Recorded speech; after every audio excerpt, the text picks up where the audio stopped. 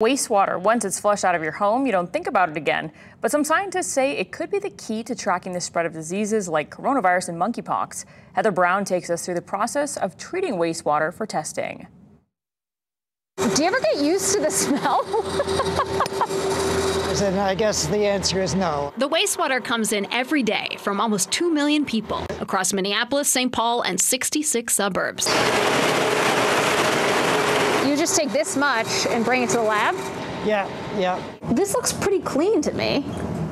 Well, it's uh, it's been treated. But there is some stuff floating around in there. What is that? Right. We think that's um, fibers from toilet paper. Principal research scientist Steve Balogh walked us through the complicated process of treating, flooding, binding, rinsing. I have um, two different wash buffers. Heating, spinning. We'll just spin it for a minute here. Just.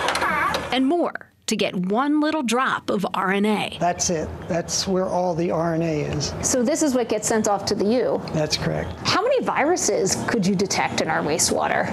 I mean, how many are there? We could eventually probably detect them all. Does it work the same way to look for COVID and to look for monkeypox? It's similar, but it's not the same. Monkeypox is a DNA virus, so we're looking for DNA. But in COVID, we're looking for RNA. That's correct. What do you see the potential for wastewater testing?